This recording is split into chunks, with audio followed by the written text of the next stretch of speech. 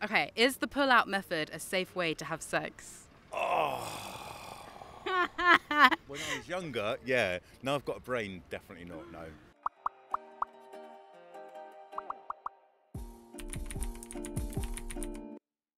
Good afternoon. My name is Natalia, and I'm here with Sash London, supporting advice on sexual health. We're here today in Soho Square to ask people about what kind of contraception they use, if they use any at all. This is all for World Contraception Day, so stay tuned. We're here with Emma. Hello, Emma. Hi, Isabella. Urooj. We're here with Mark. Mark, are you ready to be asked some contraception questions? Oh, a little bit scared, but yeah, okay, yeah. Can you name three different types of contraception? Um, the pill. Um, condom. Condoms. yeah. Um, and IUD, I guess, would be a third one.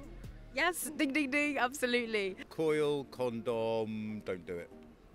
Okay, abstinence. Usually people don't say that. Yeah, abstinence is a method of preventing Yeah. pregnancy. Or anal, clearly, but you know, up the bum, no babies, that's what they say. That's true. Well, there's all different kinds of sex that you can have, and obviously, anal sex you don't get pregnant from. Having said that, if there's cum dripping down from the anus, it could potentially go into the vagina, but you'd be really, really unlucky. Yeah, you would be unlucky on that one, I think, yeah. It's low risk. Is it safe for someone to wear two condoms at the same time, aka doubling up?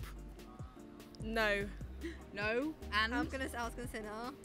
I just like wanna like suffocate it. it would suffocate it. I was thinking more like the friction being too much or something like that. Something along those lines. Um, yes, I would say the friction would be a negative impact on the condoms. So it's more likely to split. Um, so, yeah, one condom per use. Um, if you've put the condom on the wrong way, then just scrap it, get a new one. Um, and I know this is really gross, but like, don't wash out your condoms and then reuse them. Oh God, people do that? Okay, common sense. yeah, honestly, people do do that. It's really, really grim. What type of contraception can last up to 10 years? Is it an IUD? Yes, it is. The IUD, aka the copper coil. Don't they get lost sometimes? N- uh, no, Are that, you, that, sure? Are you, su- are you sure? it's a myth. It's not going Is to get lost. Mm. Do you know how it works? Uh, I do not know a lot about it.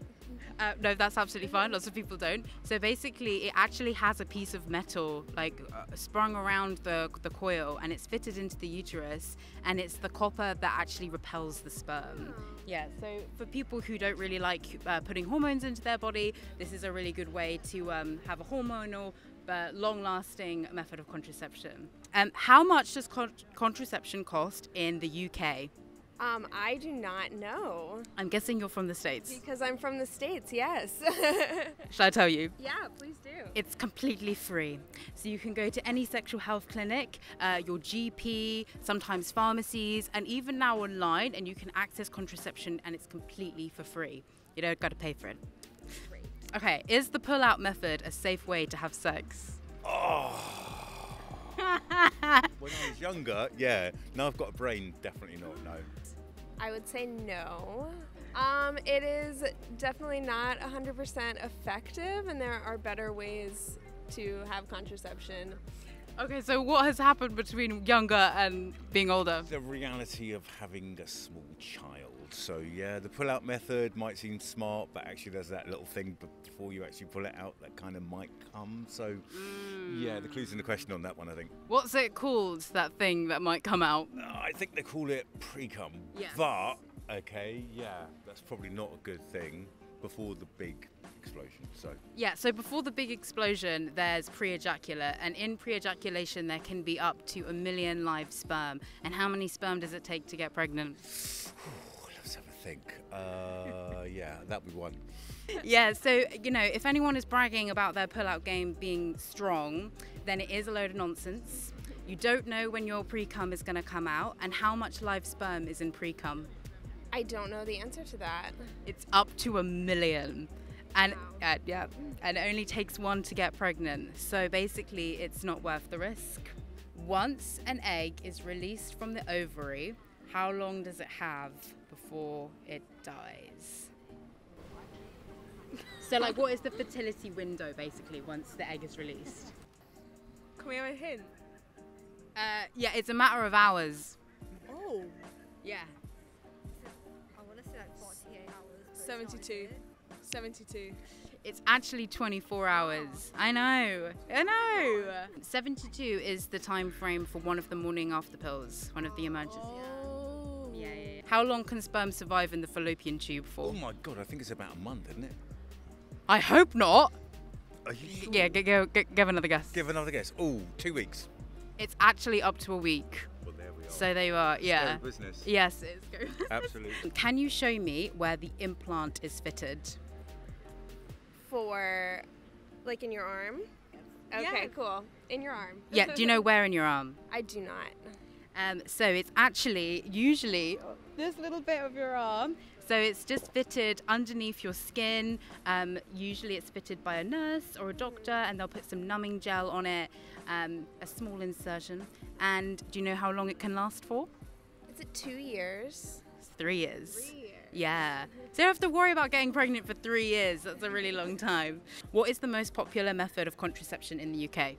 I'm gonna say condoms or birth control. Wait, just for the UK audience out here. So when people say birth control, it's quite like an American expression. So we actually mean the pill. Yeah. Yeah. Why do you think the pill's the most common uh, or most popular method? Oh, let me think of why I went on the pill. I actually went on the pill just because my friends were on the pill. I think because of social norms, it's a cool thing not to wear condoms for a guy. So because of that, it's like, what can a girl do if the guy is not wanting to? So it's like you have to just protect yourself in that case. Yeah. So I think that's that's why I went on the pill, just mm. because of how society was and how guys. Well, I shouldn't say all guys, but how Some, most yeah. guys, some guys have experienced, have said like you know they don't mm. want to for yeah. whatever reasons. What an age-old problem. Like it is a shared responsibility, and yet it always falls on people with uteruses to like, you know, be the most responsible about it. Yeah, I I went to my GP and just asked, um, what is it? Um, I was mainly just concerned about maybe like some effects. Yeah.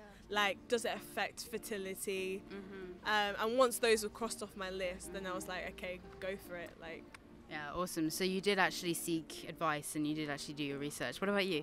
Yeah, the same. Just Yeah. talking to my GP about all the side effects that I could like get, and like especially I heard it, it affects your mental health. So I was like to be sure to ask about that before Yeah. I do anything.